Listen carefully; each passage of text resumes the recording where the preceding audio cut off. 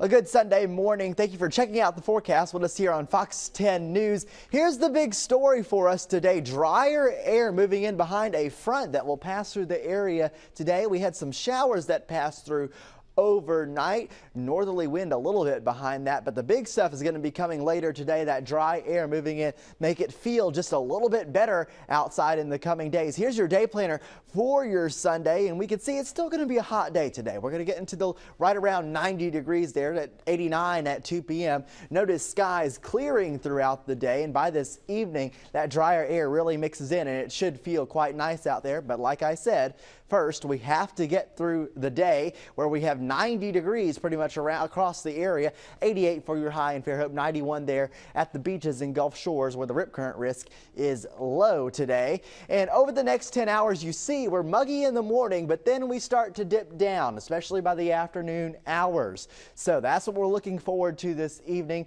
A nice evening with mostly clear skies, those temperatures dropping and that humidity kind of getting out of the air, making it feel just a little bit better out there. And let's take a look at Futurecast, see how this happens. So you see the clouds clearing out throughout the morning. I can't rule out isolated showers in the panhandle today, but I'm keeping those rain chances really quite low.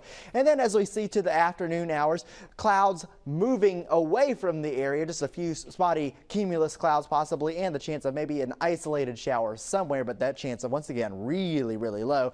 You see the northerly wind coming in. That's what's ushering in that drier air for us. By this evening, you see those skies mostly clear. Over the next five days, we really get into the comfortable category in terms of how it feels outside. This is going to really help us out in the mornings. Take a look at these morning temperatures. So your Monday morning temperature getting down to 64 degrees. Yes, Tuesday morning 63. So it's going to be some nicer mornings for us, but still in the afternoons, you see those afternoon temperatures at 90 degrees. Taking a quick look at the tropics, what do we have? Lee now going off into kind of the Canadian Maritimes. It is much weaker now. We have a new storm, Nigel, which is strengthened from Tropical Depression 15 into Nigel last last night, and then one area off the coast of Africa, or something that is going to at least emerge off the coast of Africa in the next seven days. Taking a look at tropical storm Nigel, 50 mile per hour storm, getting its act together. A lot more thunderstorms associated